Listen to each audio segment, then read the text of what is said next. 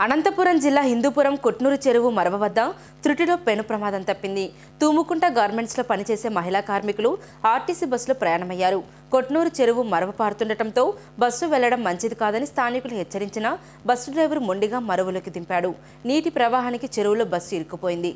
దీంతో మహిళా కార్మికులు భయభ్రాంతులకు గురయ్యారు. స్థానిక యువకులు ఆర్టీసీ బస్సులో ప్రయాణం చేస్తున్న గార్మెంట్స్లో పనిచేసే మహిళా కార్మికులను సురక్షితంగా బయటకు తీసుకొని వచ్చారు. డ్రైవర్ల మొండితనం వల్ల ఎన్నో కుటుంబాలు వీధిన పడే పరిస్థితి ఎదురై ఉండేదని స్థానికులు వాపోతున్నారు.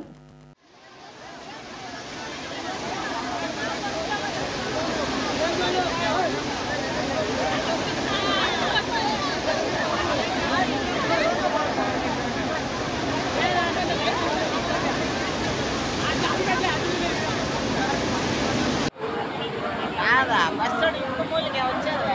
ఆపకు రావాలా?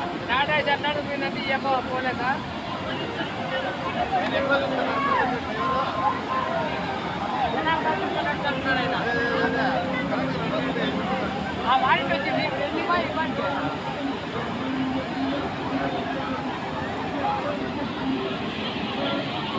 ఆ నిందాక సైడ్కి వచ్చేది సార్.